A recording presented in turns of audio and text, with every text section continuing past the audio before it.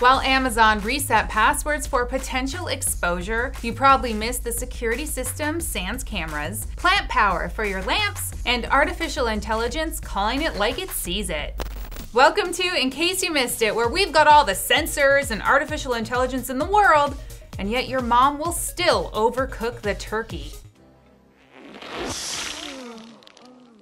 Ooh, it's just a little dry, it's fine. That's what she does. We know AI can spot faces in photos, but this coder from the Netherlands had some real time fun with it. Despite it not knowing he wasn't wearing a suit, guys, that's a hoodie. He modified neural network code called NeuralTalk to run on a live webcam feed. He took a walk around Amsterdam with his laptop to discover what the code sees. It was mostly right on, even calling it like it sees it when it comes to this dude's suitcase.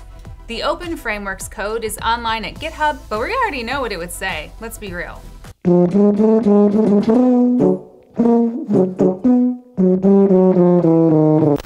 University researchers in Peru were troubled by bad electrical grids that couldn't be counted on for the country's rural residents after a massive flood, and they landed on plant power as a solution.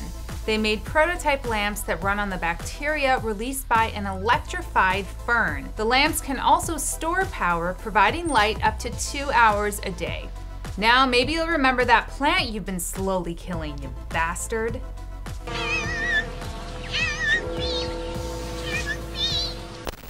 Looking for a solid security system but feeling a tad camera shy? That's not shy. But this might be. It's a cloud-connected security system from Xandem that fits your no cameras paranoid lifestyle. Currently on Indiegogo, it uses a motion-detecting wireless mesh network to spot intruders. Instead of conventional fixed cameras, the Xandem uses small nodes. Plug them into wall outlets and a router, and it creates a web of radio signals to cover everything you care about. Then you can track your now secure home from your smartphone, no cameras or lasers necessary. And now, TLDR, where we do the week's reading for you early because we want to get out of here and spend time with our people.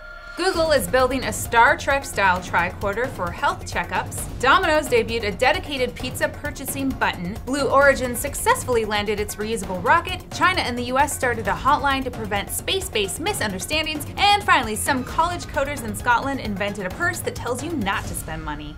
Go ahead and use that info if you need it for Black Friday.